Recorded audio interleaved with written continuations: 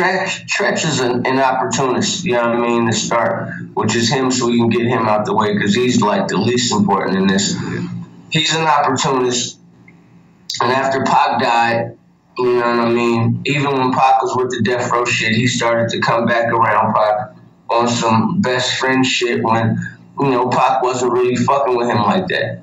And it, it stemmed over some shit that happened at the comedy club back when um, Above the Rim was about to come out.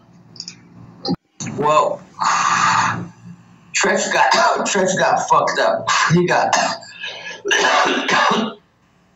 Pac just happened to be with him because there was some shit that happened at this uh, convention called the Gavin Convention in Louisiana months before that, months prior to that. So where Treach and his crew beat up one of my partners from my neighborhood.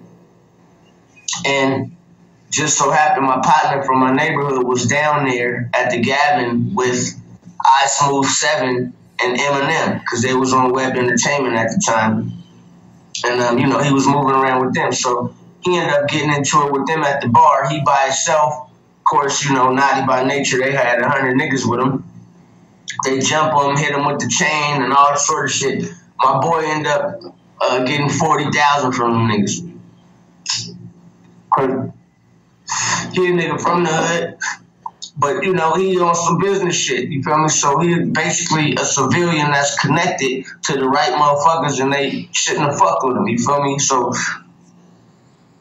the story, you know, when he got back home, it is what it is. The naughty by nature nigga is nigga gotta see him, man like I was telling the other nigga, you know, niggas in Hollywood and on TV, they're the easiest to, to get, you know what I mean, next to her.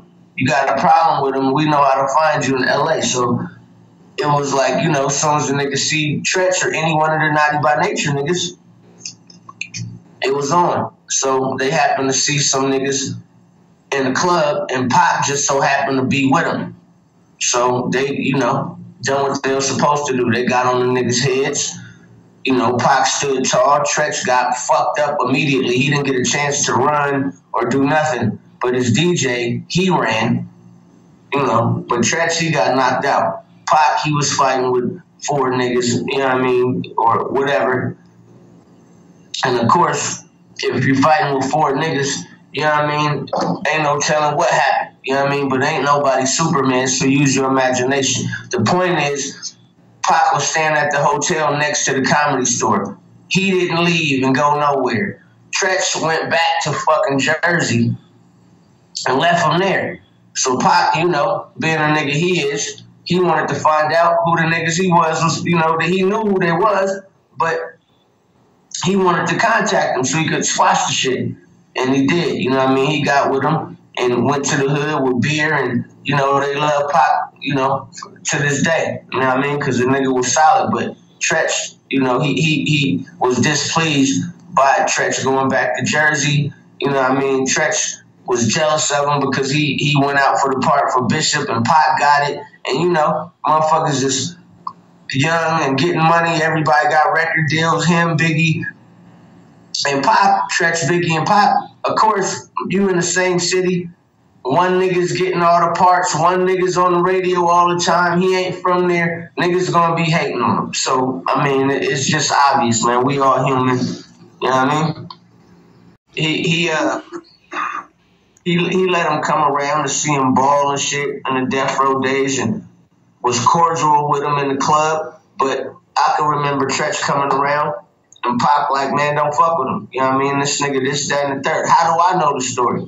I didn't hear from Edi. I didn't hear from Napoleon. Everything that I'm saying, I was young and inquisitive. I asked Pac. I was around Tupac, so I asked any and everything, especially when I figured out that this nigga was lacing me with game, that he was, you know, actually going to answer me in the manner that I was asking nigga, I never stopped asking them shit, especially about the niggas that was around.